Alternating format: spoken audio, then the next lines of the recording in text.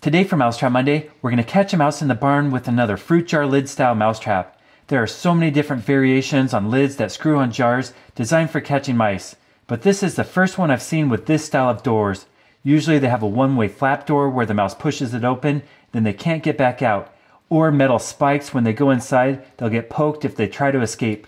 But this is the first one I've seen with a double squeeze chute style. There's a cage and an opening right here, and these two metal flaps that are close together, but the mouse can push them open and squeeze inside to get the bait.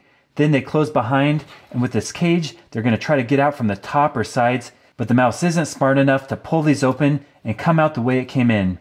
I'm going to put this on a jar and test it out with our pet mice, then we're going to set it up in the barn with motion cameras and try to catch a wild mouse. Now in the past, I've had round jars roll away. For these tests, I like to use this square jar. That way I can set it up on a flat surface and I add seeds inside to attract the mice. We'll screw on the lid and go get our pet mouse. Okay mouse, there's some yummy seeds inside. Go through those doors.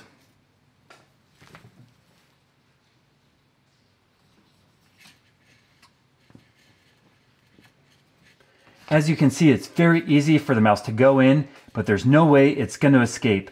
It works well with our pet mice, but let's go set it up in the barn with motion cameras and see if we can get some wild mice.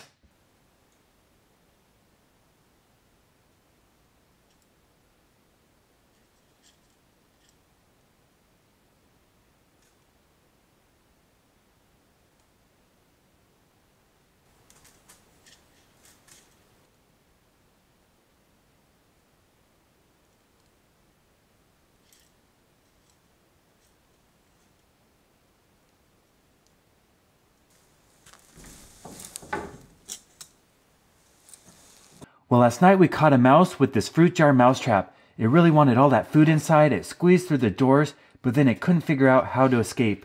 Overall, it's a very unique mousetrap and it works well. Now, what we caught is a native species called a deer mouse. You can tell because it has larger ears and a white belly, also more of a furry tail.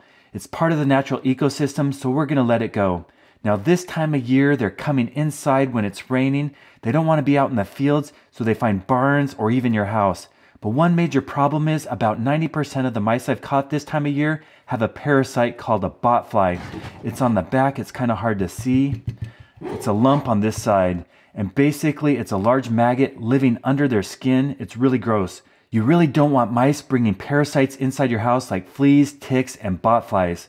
But we're going to take this lucky mouse out in the wild, far away from any buildings, and let it go. Okay, I'll just unscrew the lid here. Thank you so much for watching. If you haven't subscribed, please consider clicking that button. I've posted over 800 videos on YouTube and currently I'm posting new videos every Monday and Friday. So if you want to see the best videos on how to catch mice, rats, squirrels, chipmunks, moles, voles, and gophers, stay tuned. Okay, you're free. Thanks for watching.